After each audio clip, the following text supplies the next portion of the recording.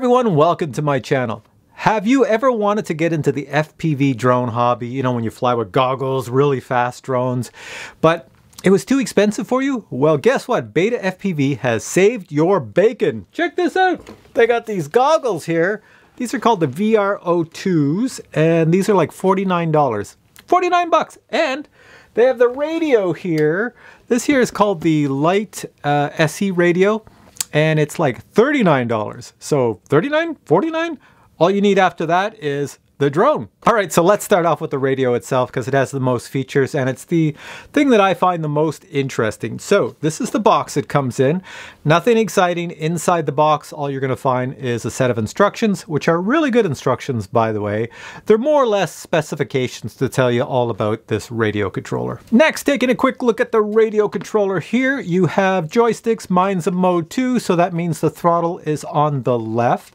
And if you look at the very front, you have switches for the FPV hobby. The bottom switches are all one click, click, click, on or off. Basically, that's what it is.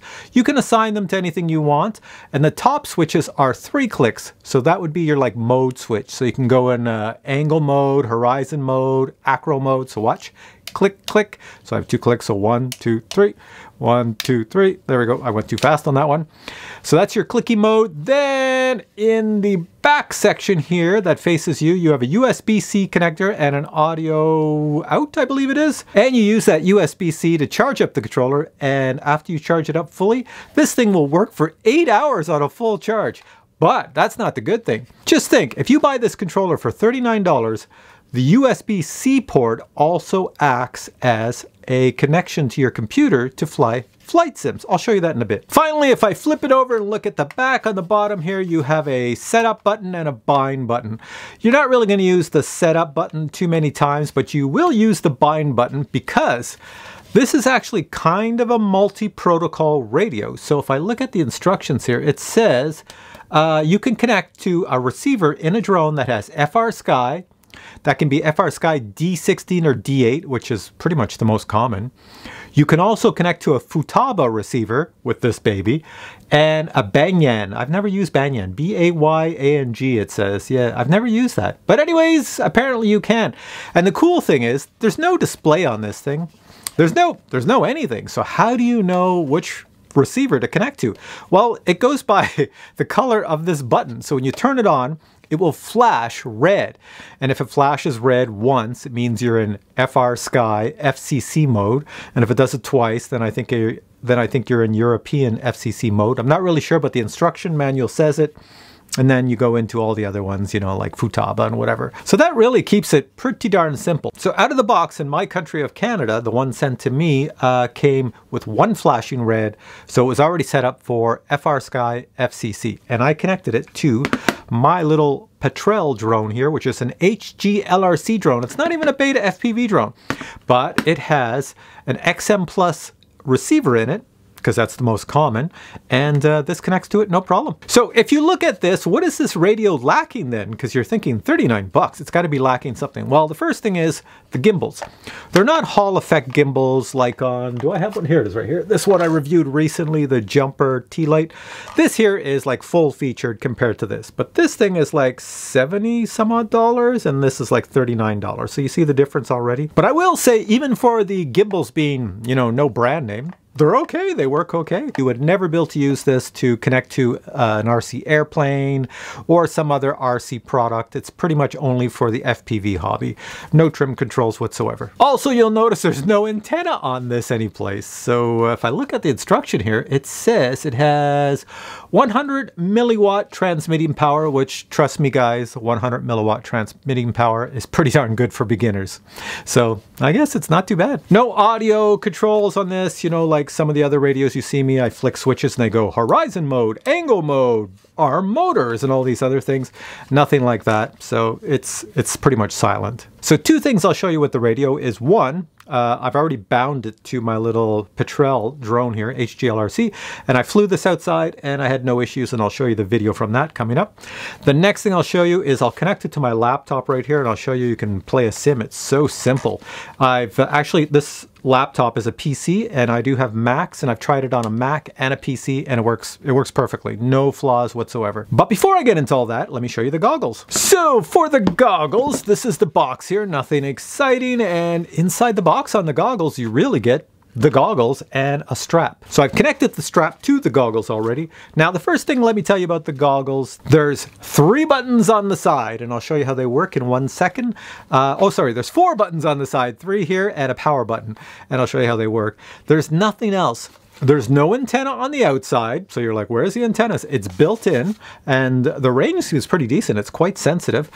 There's no DVR. You know, on some of these goggles, you have a spot that you can put a micro SD card in, and you can record the video that goes into the goggles so you can play it back for yourself later. Not included on this one. But on the good side, uh, you don't have to add a battery to this. Some of the other ones you have to add a battery. This one you don't add a battery. It's built in and fully charged. It gives you two hours of display on your screen. And if I look on the Beta FPV website, let me see what it says about it. It says the screen is 4.3 inches and it's an 800 by 480 display. It's a super high definition brightness, LCD, blah, blah, blah, nothing exciting. Doesn't tell me the frequency, like how powerful it is for that antenna. Uh, all it says is a built-in super sensitive 5.8 gigahertz 40 channel receiver and with race band. So it does have race band. I can see it in the screen. There is race band in there. So that's pretty much it. So I can, I'll talk you through it. I've already done a test of these goggles and let me just talk you through how it works. So on the side, you have a power button, you flick that, they power on. And then the next thing, when you look in the screen, if you don't have any sort of reception, you just get snow. But if you hit the center button, which says S, S is for search, but it's also for menu. If you press it once, you're gonna get a menu and that's what the menu looks like. So in that menu, you have six bands and you have eight channels. And if you hit the middle S button again, you can go into search mode and it will search every channel and it will pick up and show you which channels are receiving a signal and it will stop on them when it finds one. So as you can see, very much designed for beginners. Not a lot of buttons to mess you up. It's basically turn them on, hit the scan button, let it find the signal from your drone. It will show you the image. That's it. There's nothing else for you to do. Put them on your head and go flying. Now take a look at me. Look at the size of these glasses I'm wearing. Watch this. They do not fit over my glasses. So if you're somebody who wears glasses and you have big spectacles, then uh, you can't use these. Now for some of you who have a very minor prescription like a minus one, minus two, or a plus one, plus two, you might be able to take your glasses off put them on and it will be perfectly in focus. Or pretty close to focus but uh, for other people like myself no I tried it. It's it's too blurry and you can't adjust anything on it. So unless you have small spectacles they do make at some drugstores spectacles that just sit on your nose. So you put them on your nose and you can fit goggles over top perfectly fine. They're like little reading glasses. They come in a little box. Most drugstores have them if you put those on for your prescription like you know plus one plus two I don't know whatever and you you should be able to fit this over top. No problem. All right, so the next thing I want to show you with both of these is I went outside, it's freezing cold here. I took the little Petrel, took all this, and I took it for a flight. And what I did is I flew with my Fat Sharks on. I recorded the image of my Fat Sharks. I stuck a GoPro in front of this to show you what the image would look like if you had it on your head. The GoPro is not going to give you the true image because the GoPro is very wide, so you see the sides and the top and the bottom.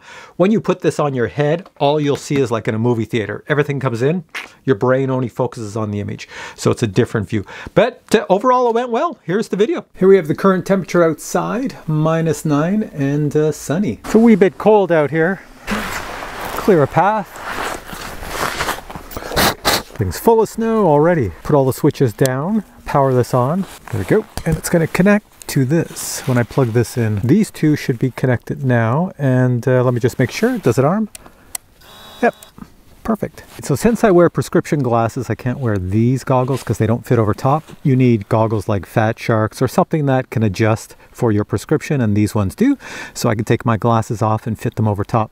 So I'm going to record the video in the Fat Sharks and I'm going to show you what it looks like by putting a GoPro in front of uh, the goggles here so you'll see inside. So let's see what that does. So I've got my gloves on. I don't know how well I'm going to feel the joysticks, but uh, let's see. So I've got an acro mode. There's no audio cues. I'm going to arm it. There we go. And uh, let's go. Flying around my little area. I have a little bit of battery time. So what I'm finding is these joysticks are really good. They're not as good as like Hall uh, sensors. Oops, I'm using too much power, it says. They're not as good as like the Hall sensor gimbals, but uh, yeah, for the price, you can't beat it, that's for sure. Come down nice and low to the ground. There we are. Not bad. I can control it nicely here. All right, so let's try this. I'm going to put an angle mode. Where's my angle mode? There's angle mode. So there we go. I could switch it into angle mode while flying. What angle mode allows me to do is it takes it out of acro and it adjusts the angle of the drone so I can fly slower. So you see how slow I'm flying here? So with this controller in angle mode, come nice and low to the ground. There I am there. Go smoothly over me. Yeah, I do find the joysticks are pretty darn decent. For the price, you can't go wrong with this. This looks pretty good. And yes, I'm flying with the low battery still, so I'll bring it back and uh, let's go back inside. Let's see if I can land on the back of my Jeep here. I'm gonna go right up top here. No, I better not, in case I smash into the window. All right, so let's bring it around and land at my feet. There we go. that was in the snow.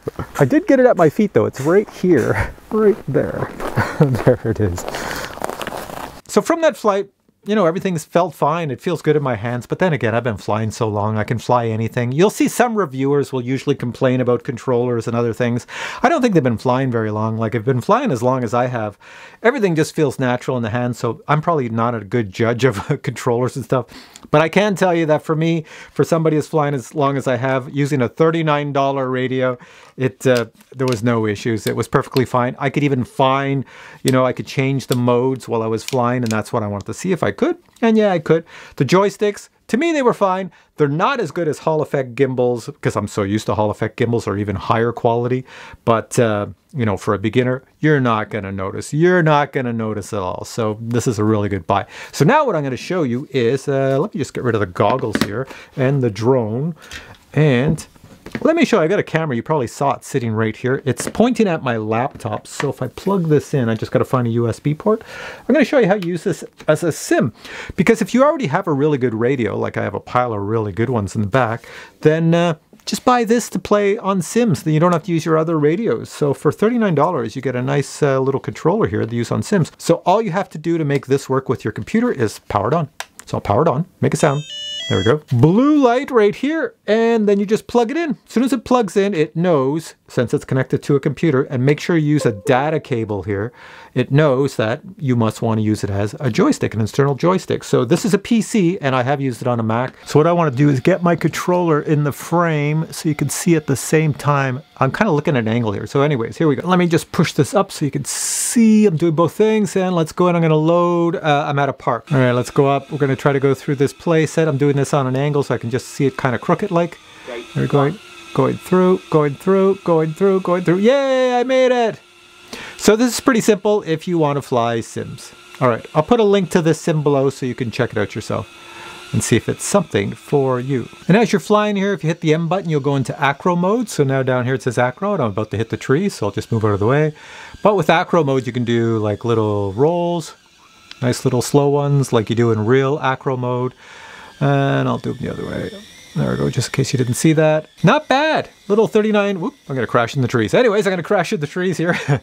Little $39 thing to use as a simulator controller. So pretty darn sweet. Let me show you one more thing that Beta FPV sent me, and it's dirt cheap as well. So say you buy this, and you buy this, and then you go buy any FPV drone you want that has analog video.